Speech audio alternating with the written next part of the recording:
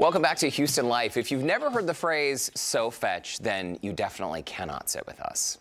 No. No, I'm just kidding. But the 2004 classic Mean Girls gave us some of the most quotable lines of all time. And now that film has been turned into a Broadway musical. One of your favorite movies, I've seen right? it. It's fantastic. It is so good. Add in the plastics, the burn book, and some original tunes, and you've got a show that's really grool. Lauren Kelly got a chance to chat with two local actresses who star in the production. Well, just like you always say, Courtney, there is always a Houston connection. And one of our favorite films of all time, Mean Girls, has been transformed into a Broadway, Broadway musical. And we're chatting with two local stars who are in the show today. This is Jasmine and Asia. We are so excited, ladies. we are too. We are too. Yes. So, all right, let's just jump right into it. Jasmine, you play Gretchen Wieners. This is an iconic role. What was your first reaction once you landed? Landed it?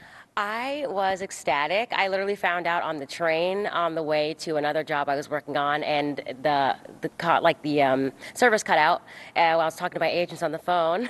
so when I finally got them back, it was um, I was just so shocked. Honestly, it was it was an amazing experience to find out. No, your response was, "Oh my God, that is so fetch! I can't believe it!" Right? Yes, absolutely, for sure.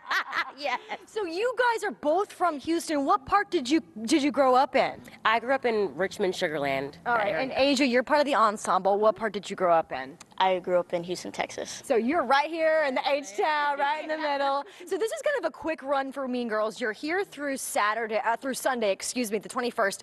Why don't you tell our viewers a little bit about the show? Is it straight up like the movie? A lot of references, like the Easter eggs? What are we going to see? Yeah, so in 2004, it's a little updated version since then. So it's a very like 2022 updated version with a lot of social media uh, involved and things like that. So it's like more of like cyberbullying because you bring the 2022 aspect in.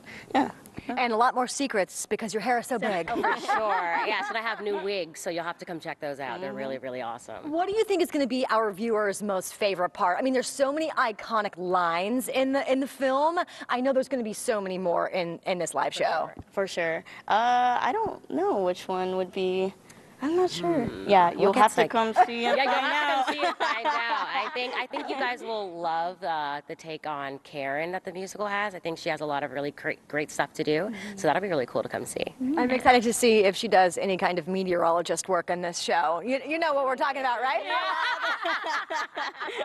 All right, so let's talk a little bit more about, about Houston. Did you always grow up wanting to do theater and musical performances and stuff like that, Asia? Oh, for sure. Um, so my dad actually put me into musical theater since I was three years old, so I've been in it ever since then.